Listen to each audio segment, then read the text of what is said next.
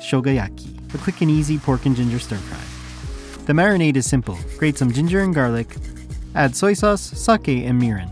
Set aside to marinate for at least 20 minutes. Stir fry in a large frying pan. When the color changes, add sliced onions, a tablespoon of oyster sauce, and sake to help it come together. Once the cooking liquid dissipates, serve with a mountain of shredded cabbage, a couple of tomatoes, and a dab of mayo. And there we have